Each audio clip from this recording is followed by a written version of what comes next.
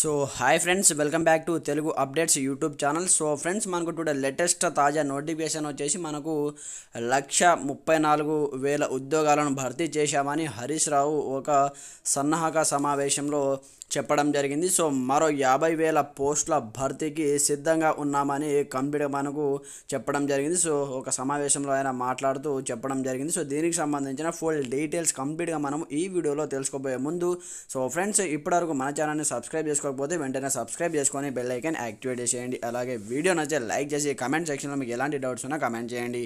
మరి ఇంకెందుకు ఆలస్యం? Let start our topic. So friends మనకు టుడే లేటెస్ట్గా సాక్షి న్యూస్ పేపర్లో ఈ స్టేట్మెంట్ అయితే రావడం జరిగింది. అయితే చూడండి లక్ష ముప్పై నాలుగు వేల ఉద్యోగాలను భర్తీ చేశాం. మరో యాభై వేల పోస్టుల భర్తీకి సిద్ధంగా ఉన్నాం.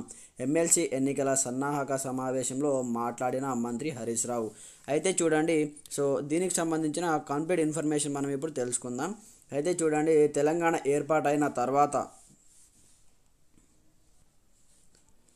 తెలంగాణ ఏర్పాటైన తర్వాత రాష్ట్రంలో లక్ష ముప్పై నాలుగు వేల ఉద్యోగాలను భర్తీ చేశామని మరో యాభై వేల పోస్టుల భర్తీకి సర్కారు సిద్ధంగా ఉందని రాష్ట్ర ఆర్థిక మంత్రి హరీష్ రావు గారు అన్నారు.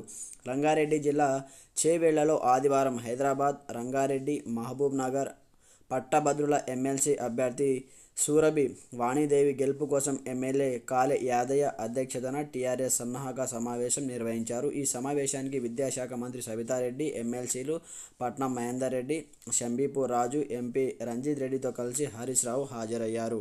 అనంతరము హరీష్ రావు మాట్లాడుతూ మాట్లాడుతూ సర్కారు ఉద్యోగాలు ఇవ్వలేదని ప్రతిపక్షాలు ఒక అబద్ధాన్ని పదే పదే చెబుతూ అదే నిజమవుతుందని భ్రమపడుతున్నారని ఎద్దేవా చేశారు. అసెంబ్లీ కేంద్రంలోని బీజేపీ సర్కారు ఎస్సీ ఎస్టీ బీసీలకు రిజర్వేషన్లు ఎత్తివేసే కుట్ర పన్నుతోందని ఆరోపించారు. పట్టభద్రుల బీజేపీకి ఎందుకు ఓటేయాలని ప్రశ్నించారు.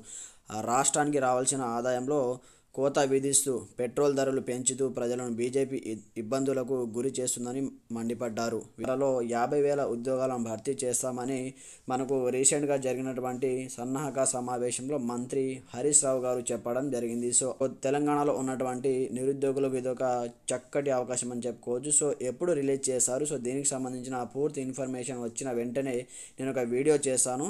సో మీరు వెంటనే మన ఛానల్ని సబ్స్క్రైబ్ చేసుకొని బెల్ ఐకాన్ యాక్టివేట్ చేసేయండి. Okay friends thanks for watching this video. जय हिंद।